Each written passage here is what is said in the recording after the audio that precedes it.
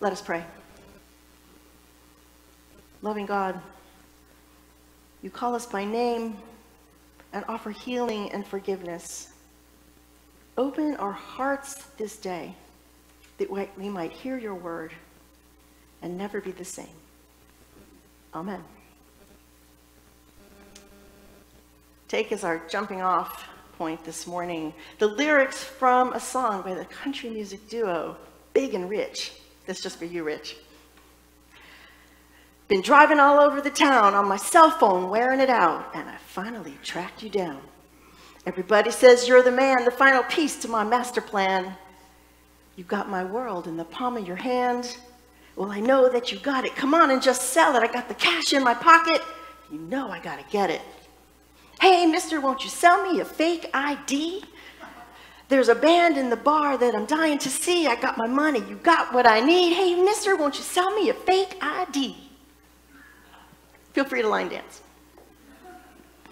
In Capernaum today, there's a man in the house that people are dying to see. Who is this man? Everywhere he goes, they track him down, and everywhere he goes, he holds them in the palm of his hand. Casting out demons, no healing is too great or too small, from leprosy to Simon's mother in law's fever. Everywhere he goes, he draws a crowd, hoping he's got what they need. Today, it's a paralytic and four friends. And I think we should all have and be friends like this. So let's rephrase it. Today we have four friends and a paralytic. Who are these friends? Who is our paralytic? When I moved, which was seldom, it was only because my friends who nag and sustain me carried me out to lie in the evening and look at the stars. My friends who would never let up on me. I was bound to my bed. My bed was a prison. Feeling that life was unbearably stale and a dull, bitter taste on the edge of my mouth. But they were persistent, my friends, and insisted, carried me, vaguely protesting through the streets of Capernaum, straight to the house where Jesus was teaching. When we came to the house, surrounded by fans, the devout and devoted, who hung on his words, showed up every time he appeared in town, hearts on their sleeves and faith on their lips. Move back, they said. There's no room for you here, they insisted, these pious and devout ones so delighted to cling to his words that they never looked twice at my pain or my desire. Who are these people? Check their ID. If it says organ donor, do not get your hopes up for a heart. So devoted to being devout, they disregard this group of friends bearing their bedridden buddy so much for the followers of this Messiah. I thought to myself, let's go home. I said to my friends, if that's how it is, I want no part of it. Leave me to my bed and my isolation. And the four friends, no ID, and they can't get a backstage pass, but they do find the back stairs, and they unroofed the roof. They lowered me down in the midst of the hubbub mud and thatch and me coming down on the crowd. Jesus, astonished, brushed the flecks of debris from his hair and looked up at my friends. What faith you have, he said, which I thought was the kindest construction he could put on their rudeness, which would not be deterred, bringing me to his side. Maybe not rudeness, but determined faith. And what faith indeed. Who is this guy lowered down into the mosh pit by his friends? Not a word about his faith, no name, no age, no address, no height, but I'm sure his friends could give maybe a slight estimate about his weight since they carried him all that way. His ID is determined by his affliction. Then Jesus looked down at me lying there on my pallet, wishing to God I were home in my house. But he looked straight to me, and I thought, can it be? Can it be that he'll heal me? But what he said was, My child, your sins are forgiven. Your sins are forgiven. Well, I thought, that's lovely. Here I am lying paralyzed, unable to move, unable to function, unable to work, unable to love. And he prattles on about sin and forgiveness. I ask you, is our unidentified paralytic alone in that response? Forgiveness? Someone is seeking healing and you're offering forgiveness? What kind of compassion is that? Is that what they came for? For so many people, sin and repentance and even forgiveness have been distorted and abused and even made toxic. And that is a source of so much suffering because guilt and remorse and hardness of heart are toxic too. They're bad for our health and they make us toxic.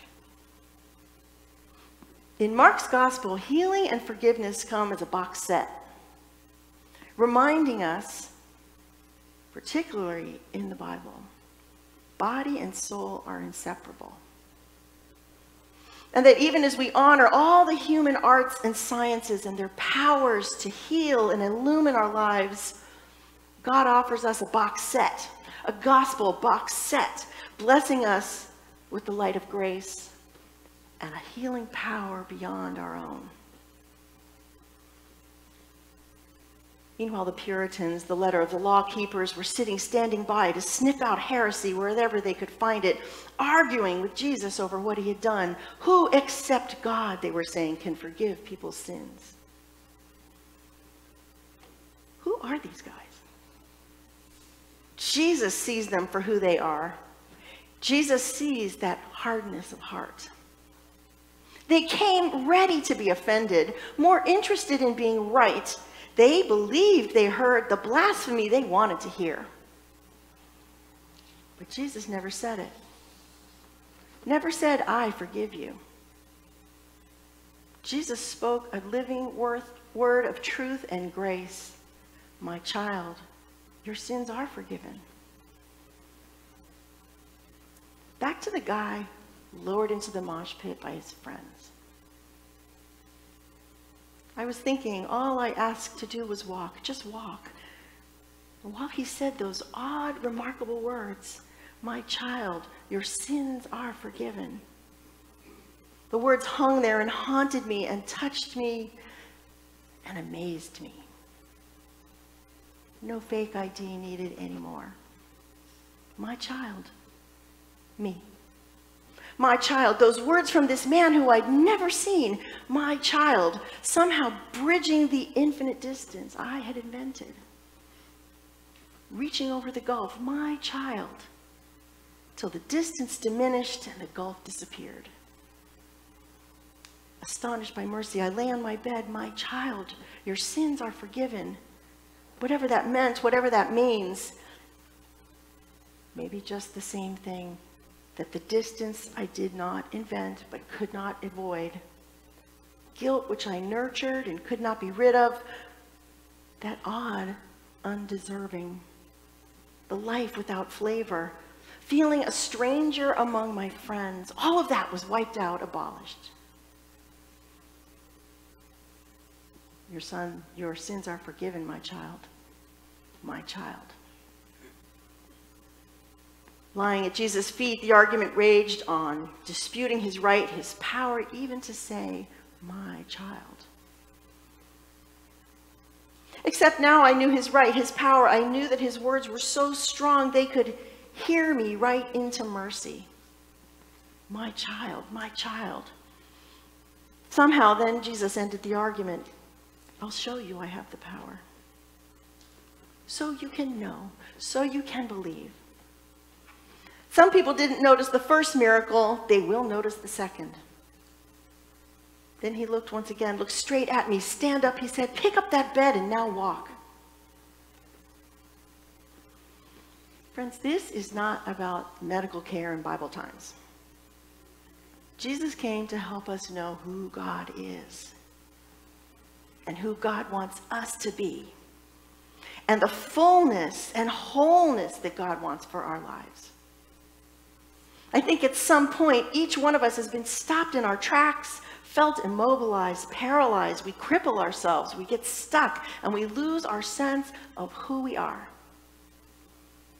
Driving all over town, wearing out our cell phones, tracking down pieces to our master plan. Up blind alleys, someone around every corner more than happy to sell us a fake ID.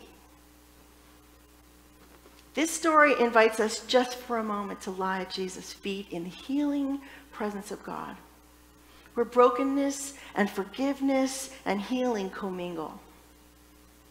And to hear Jesus' liberating word of truth for us. For just a moment to lie at Jesus' feet and hear Jesus say to us, to you, my child, my child and toss away your fake ID. And I thought, well, all right. I thought maybe now, now there's some reason for walking somewhere to go, some promise, some purpose, some promise of love. In this story, we discover for Jesus to offer healing without forgiveness would be to offer too little. Forgiveness is more than a moral construct for our society or a theological doctrine. It is the sacred grace that God gives us. The grace to heal, to heal that hardness of heart that paralyzes us. Grace that makes all things new, renewing us in body and in soul because we cannot separate those to walk into every new day with its fear and freedom, its pain, its possibility, hearing Jesus say to us, My precious child, my lovely child. Do not remember the former things or consider the things of old. I am about to do a new thing. Now it springs forth. Do you not perceive it? And I picked up my bed that damned bed which had carried me, and I carried it and carried it on my back. And all they saw looking on was a poor man stumbling rather feebly, rather weakly out of the house. But my soul, oh, my soul, friend, was leaping and dancing, leaping and dancing all the way home. Amen.